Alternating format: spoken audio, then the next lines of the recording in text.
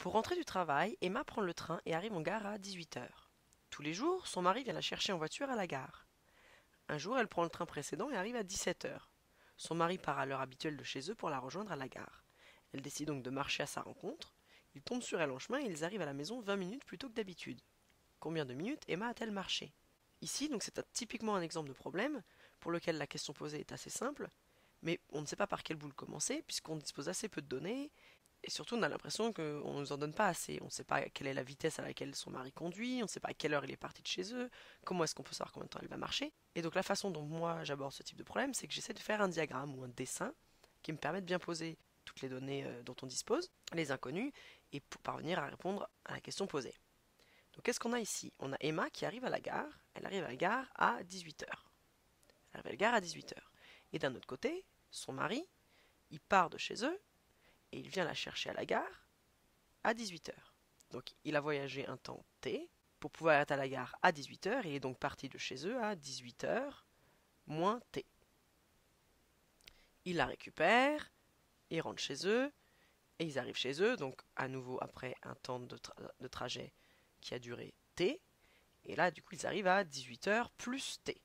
Ils arrivent à 18h plus T. Donc le total temps de trajet en voiture effectué par le mari, c'est 2t. Hein, le trajet aller t, le trajet retour t, donc 2t de trajet total. Et aujourd'hui, qu'est-ce qui se passe? Eh bien, elle arrive en fait à 17h.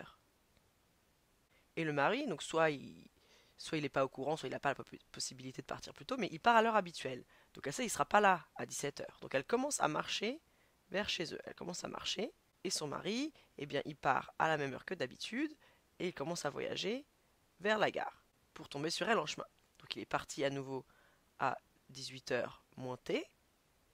Il tombe sur elle, il la récupère et ils rentrent à leur maison et ils arrivent en fait à 18h plus T, qui est l'heure habituelle, moins 20 minutes. On dit qu'ils arrivent 20 minutes plus tôt que d'habitude.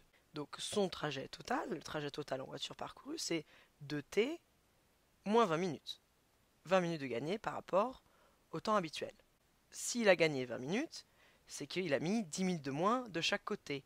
Ici, il a mis t moins 10 minutes, il a récupéré Emma, et il remet t moins 10 minutes dans l'autre sens pour rentrer à la maison.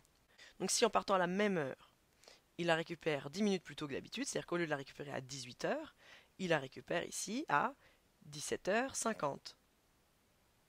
Pour répondre à la question combien de minutes Emma a marché, donc si Emma arrive en gare à 17h et qu'elle rejoint son mari à 17h50, eh bien, elle a marché 50 minutes.